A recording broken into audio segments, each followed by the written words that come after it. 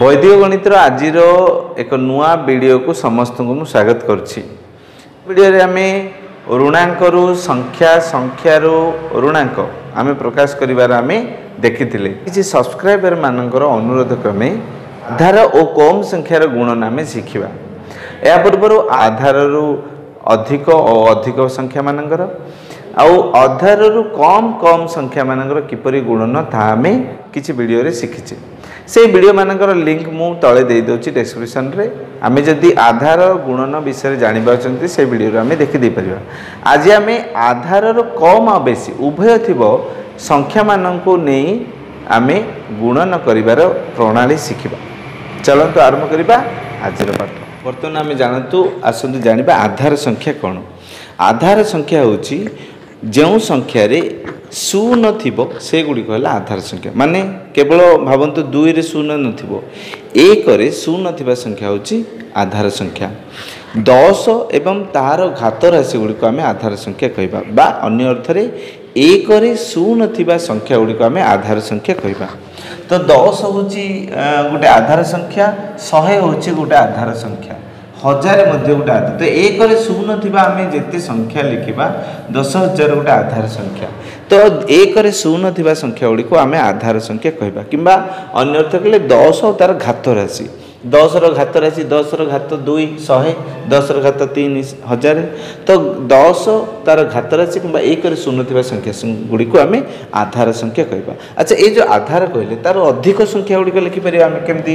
ନା ଭାବ ଶହେ ତେର ଜଣ ଲେଖିବା। ଶହେ ସାତ ଲେଖିବା କିମ୍ବା ଚଉଦ ଲେଖିବା କିନ୍ତୁ ହଜାରେ ପାଞ୍ଚ ଲେଖିବା ହଜାରେ ଚଉଦ ଲେଖିବା ଏଭଳିଆ ଆମର ପନ୍ଦର ଲେଖିବା ଏଭଳିଆ ଆମର ଏ ଯେଉଁ ସଂଖ୍ୟା ଗୁଡ଼ିକ ଲେଖିଲେ ଇଏ ହେଲା ଆଧାରରୁ ଅଧିକ ସଂଖ୍ୟା। ସେମିତି ଆଧାରରୁ କମ୍ ଲେଖିପାରିବା କେମିତି? ନଅ ଲେଖିପାରିବା ଅଠାନବେ ଲେଖିପାରିବା ନଅଶହ ନଅଶହ ସତାଅଶୀ ଲେଖିପାରିବା। ନଅ ହଜାର ନଅଶହ ଅଶୀ ଲେଖିପାରିବା। ତ ଏଭଳିଆ ଇଏ ହେଉଛି ଶହେ ଆଧାରରୁ କମ୍ କେମିତି? ନା ଦଶରୁ କମ୍ ଶହେରୁ କମ୍ ହଜାରରୁ କମ୍ ଦଶ ହଜାରରୁ କମ୍? ସେମିତି ଅଧିକ ଦଶରୁ ଅଧିକ ଶହେରୁ ଅଧିକ ହଜାରରୁ ଅଧିକ ଦଶ ହଜାରରୁ ଅଧିକ ହେଲା? ତ ଆଧାରରୁ କମ୍ ଆଉ ବେଶୀ ଏଭଳି ଆମେ ଦୁଇ ପ୍ରକାର ସଂଖ୍ୟା ଦେଲେ। ତ ଏଇ ଦୁଇ ପ୍ରକାର ସଂଖ୍ୟାକୁ ଯେତେବେଳେ ଆମେ ଗୁଣନ କରିବା ତାକୁ ଆମେ ଆଧାରରୁ କମ୍ ଆଉ ବେଶୀର ଗୁଣନ ବୋଲି କହିପାରିବା। ଯେମିତି ଶହେ ତେର ସହିତ ଆମେ ଯଦି ପଞ୍ଚାନବେ ଗୁଣିବା ସିଏ ହେଲା ଆଧାରରୁ କମ୍ ଆଉ ବେଶୀ। ହେଲା ସେମିତି ହଜାରେ ପନ୍ଦର ସହିତ ଆମେ ଯଦି ନଅଶହ ସତାଅଶୀ ଏ ସଂଖ୍ୟା ସହିତ ଯଦି ଏ ସଂଖ୍ୟା ଗୁଣିଲେ ନଅଶହ ସତାଅଶୀ ଆକୁ ଆମେ କହିବା ଆଧାରରୁ କମ୍ ଆଉ ବେଶୀ ଗୁଣନ। ସେମିତି ଦଶ ହଜାର ଦଶ ହଜାର ବାରରେ ଆମେ ନଅ ହଜାର ନଅଶହ ନବେ ଯଦି ଗୁଣିବା ତାକୁ ଆମେ କହିବା ଆଧାରରୁ କମ୍ ଆଉ ବେଶୀ ସଂଖ୍ୟାର ଗୁଣନ ବୁଝା ପଡ଼ିଲା ତ ଆମେ ଆଧାରରୁ କମ୍ ବେଶୀ ଏଇଭଳିଆ ସଂଖ୍ୟାର ଗୁଣନ ଆମେ କରିବା। ତ ବର୍ତ୍ତମାନ ଆମେ ଗୁଣନକୁ ଯିବା। ଗୁଣନର ପ୍ରଣାଳୀ ଗୁଡ଼ିକ ଆଧାରର କମ୍ ଆଉ ବେଶୀ ସଂଖ୍ୟା ମାନଙ୍କର ଯେଉଁ ଗୁଣନ ଅଛି ତାର କିପରି ପ୍ରଣାଳୀ ଅଛି ତାହା ଆମେ ଦେଖିବା। ଆମେ ଯେତେବେଳେ ଆଧାରରୁ ଅଧିକ ଅଧିକ ସଂଖ୍ୟା ମାନଙ୍କର ଗୁଣନ କରୁଥିଲେ ସେତେବେଳେ ଟିକେ ମନେ ପକାଇ ଦେଉଛି। ଅଧିକ ଅଧିକ ସଂଖ୍ୟାର ଗୁଣନ କଲାବେଳେ ଆମେ ଯୋଗ କ'ଣ କରୁଥିଲେ ଯେହେତୁ ଏଇ ଆଧାରରୁ ଅଧିକ ଥିଲେ ଯୁକ୍ତ ଯୋଗ ଦେଇକି ଚିହ୍ନ ଦେଇକି ଆମେ କେତେ ଅଧିକ ଲେଖୁଥିଲେ ଏଠି ବି ଯୋଗ ଚିହ୍ନ ଦେଇକି ଚିହ୍ନ ଦେଇକି କେତେ ଅଧିକ ଲେଖୁଥିଲେ ତାକୁ ଗୁଣନ କରି ବାକି କାମ କରୁଥିଲେ। କମ୍ ଯେତେବେଳେ ରହୁଥିଲା କମ୍ କମ୍ ଯେତେବେଳେ ରହୁଥିଲା ଯଦି ଆଧାରରୁ କମ୍ ଥିବା ଯୋଗୁଁ ଫେରାଣ ଚିହ୍ନ ଦେଇକି ଆମେ ବିୟୋଗ ଚିହ୍ନ ଦେଇକି ଆମେ କେତେ କମ୍ ଲେଖୁଥିଲେ ବିୟୋଗ ଚିହ୍ନ ଦେଇକି କେତେ କମ୍ ଲେଖୁଥିଲେ ଆଧାରରୁ। ତାପରେ ତଳେ ଯାହା ଗୁଣନ ଆଉ ଯୋଗ କରିକି ଯାହା କରିବା କଥା କରୁଥିଲେ। ଏଇଠି କିନ୍ତୁ ଯେହେତୁ ଆଧାର ଗୋଟେ କମ୍ ଆଉ ଗୋଟେ ବେଶୀ ଅଛି ତେଣୁ ଆମେ କମ୍ ସଂଖ୍ୟା ମାନଙ୍କର ଆମେ ବିୟୋଗ ଚିହ୍ନ ଦେଇକି ସାଇଡ଼ରେ ଲେଖିବା ଆଉ ଅଧିକ ମାନଙ୍କର ଯୋଗ ଚିହ୍ନ ଦେଇକି ସାଇଡ଼ରେ ଲେଖିବା। ପ୍ରଥମେ ଆମେ ନିର୍ଣ୍ଣୟ କରିବା ଯେ ଏଇ ଯେଉଁ ନଅ ବାର ଦୁଇଟି ସଂଖ୍ୟାର ଆମେ ଗୁଣନ ବାହାର କରିବା।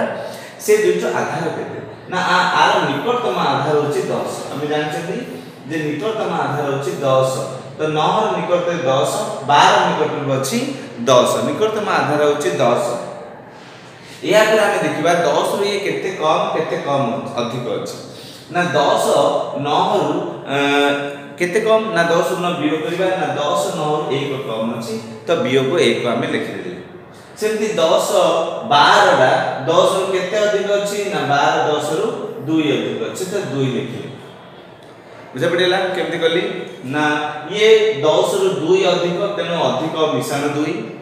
ନଅ ଦଶରୁ ଏକ କମ୍ ତେଣୁ ଏକ କମ୍ ବୋଲି ଫେରାଣ ଏକ କମ୍ ଦୁଇ ଅଧିକ। ଏତିକି ବୁଝାପଡ଼ିଗଲା।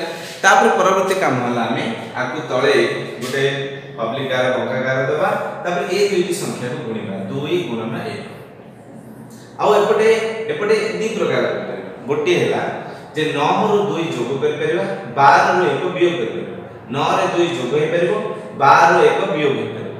तो 9 रे जदि मु 2 जोग करले केते हबो 9 युक्त 2 एही आ गोटी जिंस अधिक कोन?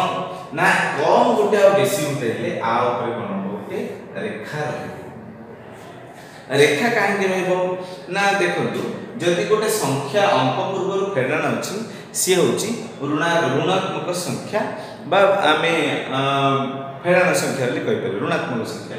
ଯଦି ମନେକର ଗୋଟେ ସଂଖ୍ୟା ପୂର୍ବରୁ ମିଶାଣ ଚିହ୍ନ ଅଛି ତାକୁ ଆମେ ଧନାତ୍ମକ ସଂଖ୍ୟା ବା ମିଶାଣ ସଂଖ୍ୟା ତାକୁ କହିପାରିବୁ। ତ ଗୋଟିଏ ଋଣାତ୍ମକ ଗୋଟିଏ ଧନାତ୍ମକ ବା ଗୋଟିଏ ଫେଡ଼ାଣ ଗୋଟିଏ ମିଶାଣ ସଂଖ୍ୟା ଯଦି ଅଛି ତାକୁ ଯେତେବେଳେ ଗୁଣନ କରିବା ସେତେବେଳେ ଦୁଇଟି ଯାକ ଗୁଣିଲେ ଆମର ଋଣାତ୍ମକ ହେଇଯିବ ମାନେ ଫେଡ଼ାଣ ସଂଖ୍ୟା ହେଇଯିବ ଯେତେବେଳେ ଫେଡ଼ାଣ ମିଶାଣ ଦୁଇଟି ସଂଖ୍ୟା ଗୁଣିବା ସେତେବେଳେ ଫେଡ଼ାଣ ସଂଖ୍ୟା ହେଇଯିବ ତେଣୁ ଉପରେ ଗୋଟେ ରେଖା ହେଉଛି ମନେ ରହିଲା ତ ତୁମେ ଯେତେବେଳେ ଆମେ କମ୍ କମ୍ ଲେଖୁଥିଲେ କମ୍ କମ୍ ସଂଖ୍ୟାରେ ଗୁଣନ କରୁଥିଲେ ଅଧିକ ଅଧିକ ସଂଖ୍ୟାରେ ଗୁଣ ସେତେବେଳେ ଆମର ଋଣାଙ୍କ ଚିହ୍ନ ବା ରେଖା ଚିହ୍ନ ଦେଉନଥିଲେ। ଏଇଠି କିନ୍ତୁ ରେଖା ଚିହ୍ନ ଦିଆଗଲା।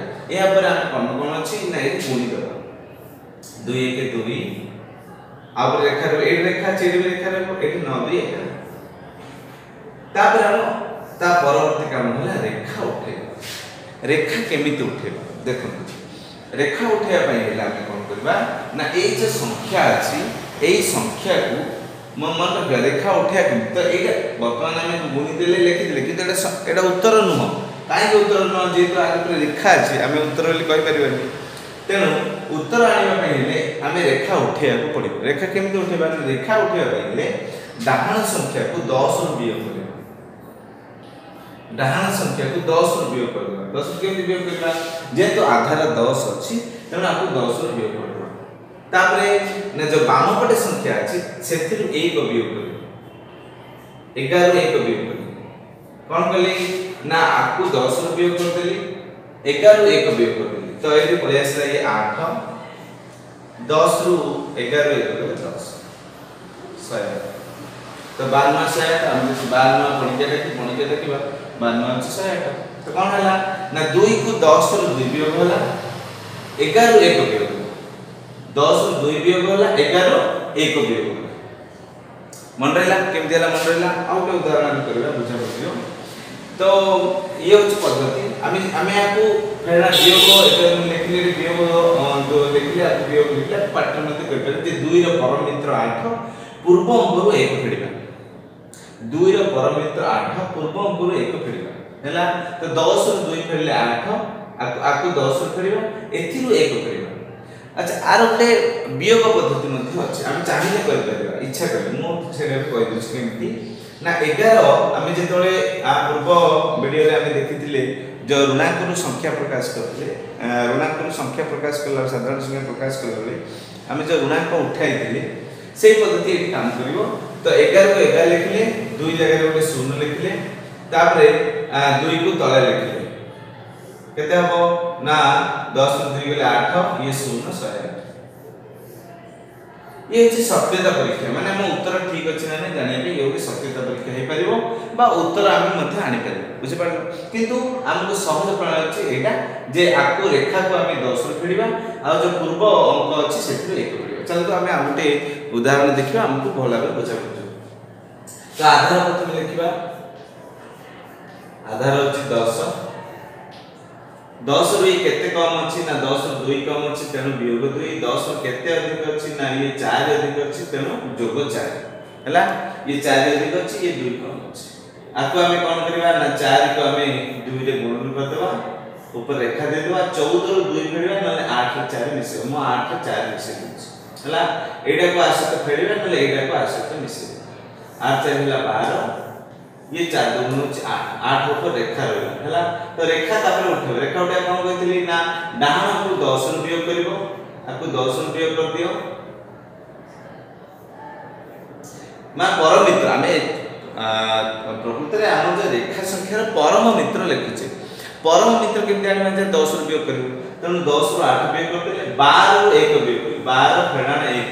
है तो बार एक आसला एगार, ये दस रु आठ होगा दुई તો ଶହେ ବାର ଆସିଲା ଉତ୍ତର ସଠିକ ତେଣୁ ଆମେ ଆଉ କିଛି ଉଦାହରଣ ନେବା ପରବର୍ତ୍ତୀ ଉଦାହରଣ ଆମେ ନେବା ସେଇ କାମ ଆମେ କରିବା ତ ଆଧାର ହେଉଛି ଦଶ ଆଧାର ହେଉଛି ଦଶ ହେଲା ଇଏ ଦଶରୁ କେତେ କମ୍ ଅଛି ନା ଦଶରୁ ଇଏ ତିନି କମ୍ ଅଛି ବିୟୋଗ ତିନି ଇଏ ଦଶରୁ ସାତ ଅଧିକ ଅଛି ଯୋଗ ସାତ ତାପରେ ଆକୁ ଆମେ ଗୁଣିବା ସାତ ଗୁଣ ତିନି ଆଉ ରେଖା ଦେବା ଗୋଟେ ସାତକୁ ସାତରେ ଯୋଗ କରିବେ ସତରୁ ତିନି ଫେରିବା ସାତ ସାତକୁ ସାତ ସାତ ଯୋଗ କରୁଛି ତ ଏଇଟା ଆସିବ ଚଉଦ ଏଇଟା ଆସିବ ଏକୋଇଶ ଏଇଠି ଗୋଟିଏ ଜିନିଷ ଅସୁବିଧା ହେଲା। କ'ଣ? ନା ମୁଁ ଯେଉଁ ପୂର୍ବରୁ ଦୁଇଟି ଉଦାହରଣ ନେଇଥିଲି ସେଇଠି ଆମେ ଯେତେବେଳେ ଡାହାଣ ପାର୍ଶ୍ୱକୁ ଗୁଣୁଥିଲେ ସେଠି ଗୋଟିଏ ଅଙ୍କ ଆସିଥିଲା। କିନ୍ତୁ ଏଠି ଦୁଇଟି ଅଙ୍କ ଆସୁଛି। ତ ଗୋଟିଏ ଅଙ୍କ ଯେତେବେଳେ ଆସିଥିଲା ସେତେବେଳେ ଆମେ କ'ଣ କଲେ? ନା ତାକୁ ଆମେ ଦଶରୁ ବିୟୋଗ କରିଦେଲେ। ଆସିଲା ଆମେ ତ ଦଶରୁ ବିয়োଗ କରିପାରିବା ନାହିଁ। ତ ଏ ସ୍ଥଳରେ କ'ଣ କରିବା? ତ ମନେ ରଖିବା ସବୁବେଳେ ଯେହେତୁ ଆଧାର ଦଶ ଅଛି ଆଧାର ଗୁଣନ ଯେକୌଣସି ଗୁଣନ ହଉ ଆଧାର କମ୍ ହଉ ଆଧାର ବେଶୀ ହଉ କିମ୍ବା ଆଧାର କମ୍ ବେଶୀ ହଉ ଯେକୌଣସି ଗୁଣନରେ ଦଶ ଗୋଟିଏ ଶୂନ ତେଣୁ ଏଠି ଗୋଟିଏ ଅଙ୍କ ଗୋଟିଏ ଅଙ୍କ ଏଠି ବି ଗୋଟିଏ ଅଙ୍କ ରହିବାକୁ ପଡ଼ିବ। କିନ୍ତୁ ଆମର ଉତ୍ତରରେ ଆମର ଦୁଇଟି ଅଙ୍କ ପଳେଇ ଆସିଲା। ତେଣୁ ଏ ସ୍ଥଳରେ ଆମେ କ'ଣ କରିବା? ନା ଗୋଟିଏ ଅଙ୍କକୁ କାଟିକି ଆମେ ଏପଟୁ ଆଣିବୁ ସବୁ କଟେଇବା। ଏକକୁ କଟେଇବା ନାହିଁ ଏକ ଜିନିଷ ଧରିବା ଦଶ କାଟିକି ଏପଟୁ ଲେଖିବା। ତ ଏକକୁ ଏକ ରହିଲା ଏଠି ଏଇଠି କ'ଣ ହବ? ଏ ଯେଉଁ ଦୁଇଟା କ'ଣ ହବ? ନା ଏଇ ଦୁଇଟା ବିୟୋଗ ହବ କାହିଁକି ବିୟୋଗ ହବ? ନା ବିୟୋଗ ଏଥିପାଇଁ ହବ ଯେହେତୁ ଏଠି ରେଖା ଚିହ୍ନ ଅଛି ରେଖା ଚିହ୍ନ ଥିଲେ ବିୟୋଗ। ଯେତେବେଳେ ଏଇ ଏହି ଯେଉଁ ପରିସ୍ଥିତି ଯେତେବେଳେ ଆମେ ଅଧିକ ଅଧିକ ଗୁଣୁଥିଲେ ଆଧାରରୁ କିମ୍ବା କମ୍ କମ୍ ଗୁଣୁଥିଲେ ସେହି ସ୍ଥଳରେ ଆମେ କ'ଣ କରୁଥିଲେ? ନା ଏଇଠି ଯେତେବେଳେ ସେହି ଦର୍ଶକକୁ କାଟିକି ଆମେ ଯେତେବେଳେ ଲେଖୁଥିଲେ ଆମେ ଯୋଗ କରିଦେଉଥିଲେ। କିନ୍ତୁ ଏଇ ସ୍ଥଳରେ ଆମେ କ'ଣ ବୁଝିପାରିଲ ଆଧାର ଗୁଣନ ସମ୍ବନ୍ଧୀୟ ଆଧାରରୁ ଅଧିକ ଅଧିକ ସଂଖ୍ୟା ଆଧାରରୁ କମ୍ କମ୍ ସଂଖ୍ୟା ମାନଙ୍କର ଗୁଣନର ଭିଡ଼ିଓ ଯଦି ଆପଣମାନେ ଦେଖିବାକୁ ଚାହୁଁଛନ୍ତି ମୁଁ ତଳେ ଥିବା ଆମ ଡେସ୍କ୍ରିପସନରେ ମୁଁ ତାର ଲିଙ୍କ ଦେଇଦେଇଛି ଆପଣମାନେ ଚାହିଁଲେ ଆଧାରରୁ ଅଧିକ ଅଧିକ କମ୍ କମ୍। ଆଧାର ଗୁଣନର ସଂକ୍ଷିପ୍ତ ପରିଚୟ ଆରମ୍ଭ ଆମେ ସେଇ ଭିଡ଼ିଓରୁ ଆମେ ପାଇପାରିବା। ଏଇ ଭିଡ଼ିଓ ହେଉଛି ତାର ତୃତୀୟ ଭାଗ ବୋଲି ଭାବି ଦିଅନ୍ତୁ। ଆଧାରରୁ କମ୍ ବେଶୀ। ତ ଏବେ ବର୍ତ୍ତମାନ କାମ ହେଲା ଆକୁ ଆମେ ବିୟୋଗ କରିବା। ଚଉଦରୁ ଦୁଇ ଗଲା ଚଉଦ ଦୁଇ ଗଲା ଚଉଦ ଦୁଇ ଗଲା ବାର। ଏତିକି ଉତ୍ତର। ତ ବର୍ତ୍ତମାନ ଆମର କାମ ହେଲା ଯେ ରେଖା ଉଠେଇବା ହେଲା? ରେଖା ଉଠେଇବା। ମୁଁ ଆମ ରେଖା ଦେଇଦେଉଛି କମ୍ପ୍ଲିଟ୍ କରୁଛି। ରେଖା ଉଠେଇବା ପାଇଁ ସେଇ କାମ ମୁଁ କହିଥିଲି ଯେ ଡାହାଣ ପଟ ଅଙ୍କକୁ ଦଶରୁ ଫେଡ଼ିବ ଆକୁ ଦଶରୁ ଫେଡ଼ିବ ଓ ଏଥିରୁ ଏକ ଫେଡ଼ିବ ଏଥିରୁ ଏକ ଫେଡ଼ିବ ଏଥିରୁ ଦଶରୁ ଏତିକି ଫେଡ଼ିବ ତ ଦଶରୁ ଏକ ଗଲେ ଆସିଲା ଏଠି ନଅ ବାରରୁ ଏକ ଗଲା ଶହେ ଉଣେଇଶ ହେଲା ଦଶରୁ ଏକ ଗଲେ ନଅ ବାରରୁ ଏକ ଗଲା ଶହେ। ଏଗାର ଶହେ ଉଣେଇଶ ତ ଏକର ପରମ ମିତ୍ର ପୂର୍ବ ଅଙ୍କରୁ ଏକ ବିୟୋଗ କଲି ଏକର ପରମ ମିତ୍ର ପୂର୍ବ ଅଙ୍କରୁ ଏକ ବିୟୋଗ କଲି ଏତିକି କାମ ରହିଲା। ଚାଲନ୍ତୁ ଏବେ ପରବର୍ତ୍ତୀ ଆମେ ଯିବା।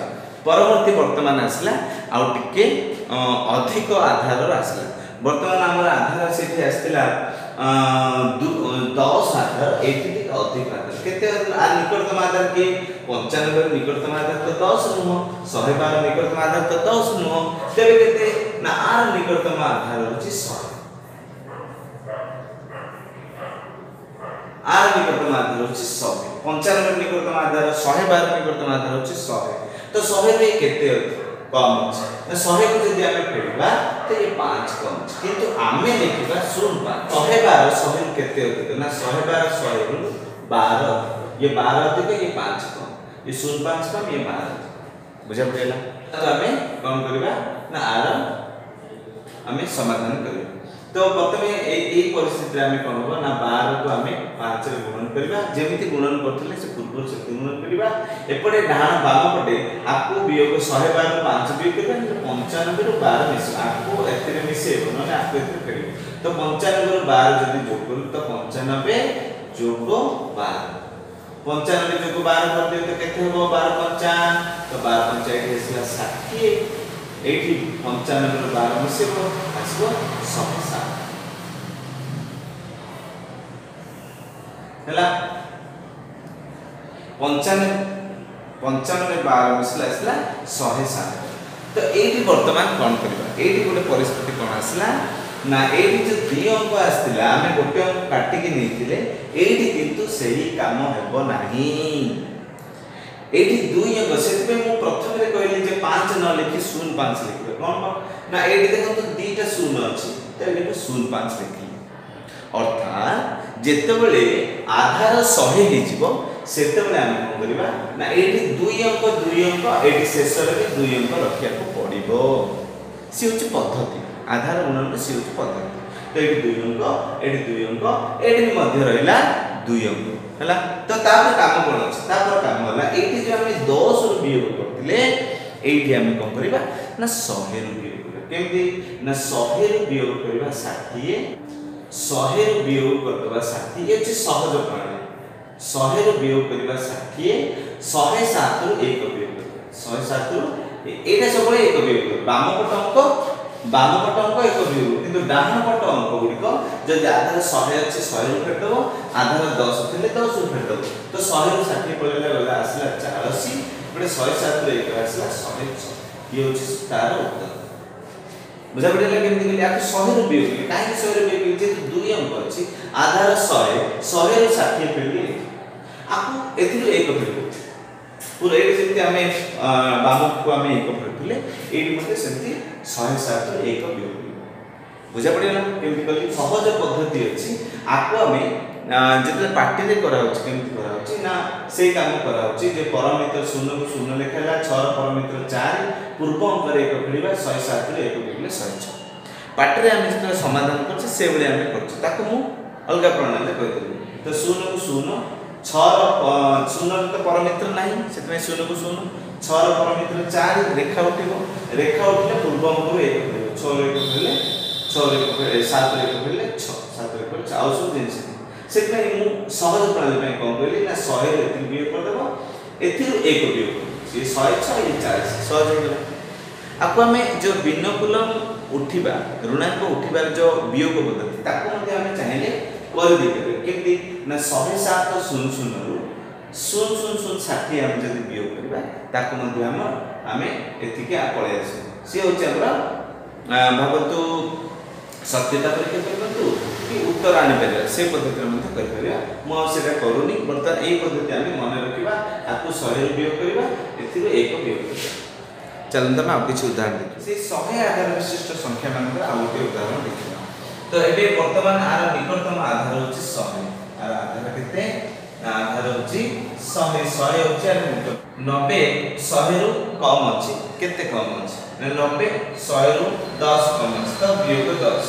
ବିୟୋଗ ଦଶ ଅର୍ଥାତ୍ ଦଶ କମ୍ ଅଛି ଶହେରୁ ନବେ। ତାପରେ ଇଏ କେତେ ଅଧିକ ଅଛି? ଶହେରୁ ଶହେ ଏଗାର ଅଧିକ ଅଛି? କେତେ ଅଧିକ ଅଛି? ଏଗାର ଅଧିକ ଅଛି। ଯେତେ କମ୍ ଅଛି ଆମେ ଚିହ୍ନ ଯେତେ ଅଧିକ ଅଛି ଯୋଗ ଚିହ୍ନ। ତାପରେ ଆମେ ଏଠି ଏଗାର ପକେଇଦେବା ଏଗାର ଗୁଣନ ଦଶ। ଏଗାର ଗୁଣନ ଦଶ। ଏପଟେ ବାମ ପଟେ ଆମେ ଶହେ ଏଗାର ଦଶ ଦେଇପାରିବା ନବେରେ ଏଗାର ଆମେ ଯୋଗ କରିପାରିବା। ତ ନବେରେ ମୁଁ ଏଗାର ଯୋଗ କରିଦେଉଛି। ହେଲା? তো 110 এটি আসিলা গুণি দেলি 110 11 দশা এইটি কোণ হব 90 কু যেতলে আমি যোগ করিবা আসবে 100 বর্তমান এতি কাম আমি সহজ হলা করদেলি তার পরবর্তী কাম আমি অল্প টিকে ধ্যান দেবার আছে কোন ধ্যান দেবা ନା ଆମେ ମନେ ରଖିଲେ ଆ ପୂର୍ବରୁ ଠିକ୍ ପୂର୍ବରୁ କହିଥିଲି ମୁଁ ଯେ ଆଧାର ଯଦି ଶହେ ଅଛି ଏଠି ଦୁଇଟା ଅଙ୍କ ଏଠି ଦୁଇଟା ଅଙ୍କ ଏଠି ଦୁଇଟା ଅଙ୍କ ଏଠି ଦୁଇଟା ହିଁ ଅଙ୍କ ରହିବାକୁ ପଡ଼ିବ। ଏଠି ତିନୋଟି ଅଙ୍କ ରହିଯାଇଛି ମାନେ ଗୋଟିଏ ଅଙ୍କକୁ ଆମେ କାଟିକି ପୂର୍ବକୁ ଆଣିବାକୁ ପଡ଼ିବ।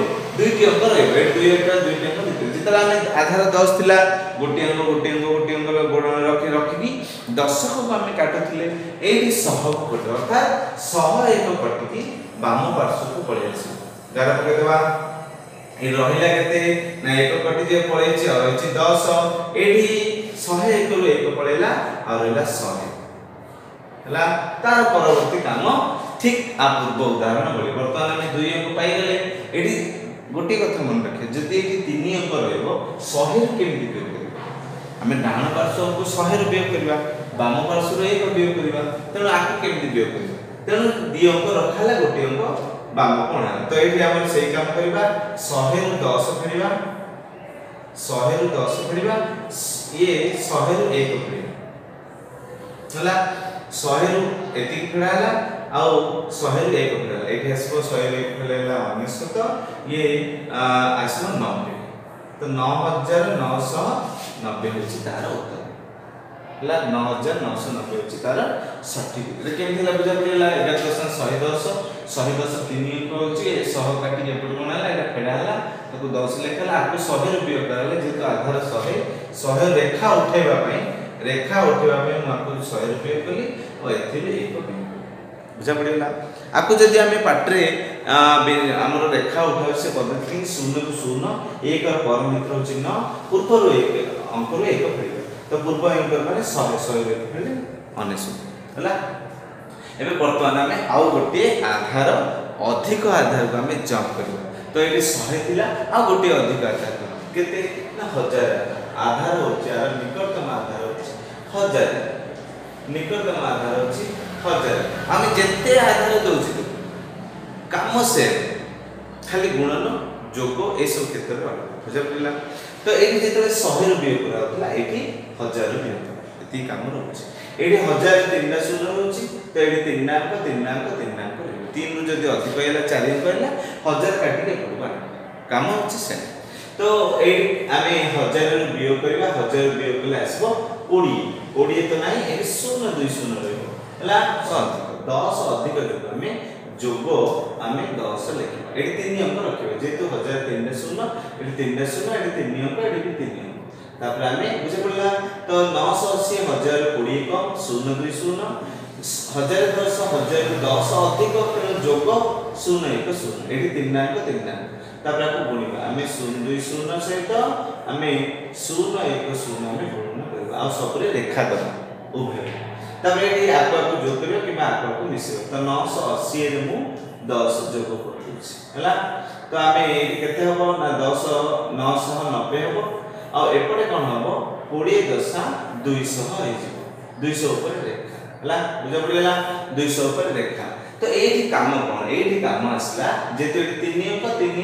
କ'ଣ? କାଟିକି ଏପଟକୁ ଆଣିବାର ନାହିଁ। ଏଠି ଯଦି ଚାରି ଅଙ୍କ ଆସିଲା ବେଳେ ଯାଇକି କରିବ। ତ ଏଇଠି କ'ଣ ହବ ନା ଏଇ ହଜାରରୁ ଆମେ ଏଇଠି କ'ଣ କରିବ? ନା ହଜାରରୁ ଆମେ ଦୁଇଶହ କରିବା। ଆଉ ବାମ ପାର୍ଶ୍ୱରୁ ସବୁବେଳେ ଏକ। ସବୁବେଳେ ମନେ ରଖିବା ଯେ ଯେ ବାମ ପାର୍ଶ୍ୱରେ ଯାହା ଅଛି ସେଥିରୁ ଆମେ ଏକ ଏଥିରୁ ଏକ ବିୟୋଗ କରୁଥିବା। ମନେ ରଖିଲା ଆଉ ଡାହାଣ ପାର୍ଶ୍ୱରେ ଯାହା ଅଛି ତାକୁ ଆଧାରରୁ ଫେରୁଥିବା। ଆଧାର ହଜାର ଥିଲେ ହଜାରରୁ ଶହେ ଥିଲେ ଶହେରୁ ଦଶ ଥିଲେ ଦଶ। ତ ଯେତେବେଳେ ହଜାର ଦୁଇଶହ ଫେରୁଛି ଆମେ ଆସୁଛି ଆଠଶହ। ଏପଟେ ନଅଶହ ନବେରୁ ଏକ ଯଦି କହିଗଲା ଆସିବ ନଅଶହ ଅଣାନବେ। ତ ଇଏ ହେଉଛି ତାର ସଠିକ ଉତ୍ତର। ହେଲା ଆମେ ମ- ପାଟିରେ ଆମେ ଅନ୍ କରୁଛେ? ଡାଇରେକ୍ଟ ଏମିତି ନ ଫେରିକି ସେତେବେଳେ କେମିତି ଶୂନକୁ ଶୂନ ଶୂନକୁ ଶୂନ ଦୁଇର ପରମିତ୍ର ଆଠ ପୂର୍ବ ଅଙ୍କରୁ ଏକ ଫେରିବ। ପୂର୍ବ ଅଙ୍କ ମାନେ ନଅଶହ ନବେ ନଅଶହ ନବେରୁ ଏକ ଫେରା ଫେରାଇଛି ନା ନାହିଁ ହେଲା ତ ମୁଁ ହଜାର ଡାଇରେକ୍ଟ ଫେରିଲେ ହଜାର ଫେରିକି ଆଠଶହ ଲେଖାଯିବ ବୁଝା ପଡ଼ିଗଲା ଏ କାମ? ତ ଆଜି ଆମେ ଆଧାରରୁ ବେଶୀ ଆଉ କମ୍ ଉଭୟ ଅ, ସଂଖ୍ୟାର ଆମେ ଗୁଣନ ଆମେ ଅଭ୍ୟାସ କଲେ ଆଧାର ଦଶ ନେଲେ ଶହେ ନେଲେ ହଜାର ହଜାର ଗୋଟିଏ ଉଦାହରଣ ନେଲେ ଆମେ ଆମ ମନରୁ ଉଦାହରଣ ନେଇକି ଆମେ ତାକୁ ଅଭ୍ୟାସ କରିବା। ଏଠି ମନେ ରଖିବା ଯେ ଆଧାର ତିନିଟା ଶୂନ ଥିବ ତିନିଟା ତିନିଟା ତିନିଟା ଅଙ୍କ ରହିବ ହେଲା? ତ ଏଇ ଏଇ ସ୍ଥାନରେ ଯେତେବେଳେ ଆମେ ରେଖା ଦେଇକି ତଳକୁ ବୁଲେଇବା ତାକୁ ଆକୁ ହଜାର ଫେରିବା ଏଇ ରେଖା ଉଠେଇଲେ ରେଖା ଉଠେଇଲେ ରେଖା ଉଠେଇଲେ ହଜାର ଫେରିବା ରେଖା ଉଠେଇଲେ ଦଶରୁ ଶହେରୁ ଫେରିବା ଏଥିରୁ ଏକ ଫେରିବା ବେପଡ଼ିଲା ଭାବୁଛି ମୁଁ ଆଜିର ଭିଡ଼ିଓ ଆପଣମାନଙ୍କୁ ଭଲ ଲାଗିଥିବ? ଆଉ ଆଜି ଯାହା ଆଧାରରୁ ମୁଁ କମ୍ ବେଶୀ ଆପଣମାନଙ୍କୁ କହିଲି ସେ ବିଷୟରେ ଆପଣ ଡିଟେଲରେ ବୁଝି ଯାଇଥିଲେ ନ ବୁଝିଲେ ଭିଡ଼ିଓକୁ ପୁଣି ଥରେ ଦେଖି ନିଅନ୍ତୁ। ଆଧାର ଗୁଣନର ଆଧାରରୁ ଅଧିକ ଅଧିକ କମ୍ କମ୍। ଯଦି ପ୍ରଥମ ଦ୍ୱିତୀୟ ଭାଗ ଆମେ ଗୁଣ ଦେଖିବାକୁ ଚାହୁଁଛେ ତଳେ ଲିଙ୍କ ଅଛି ସେ ଲିଙ୍କରୁ ଆପଣମାନେ ପାଇଯିବେ। ଆଜି ପାଇଁ ଏତିକି। ଭଲ ଲାଗିଥିଲେ ଗୋଟେ ଲାଇକ୍ କରନ୍ତୁ। ସମସ୍ତଙ୍କୁ ବହୁତ ବହୁତ ଧନ୍ୟବାଦ ଜଣାଇ ରହୁଛି। ବନ୍ଦେ ମାତରମ୍।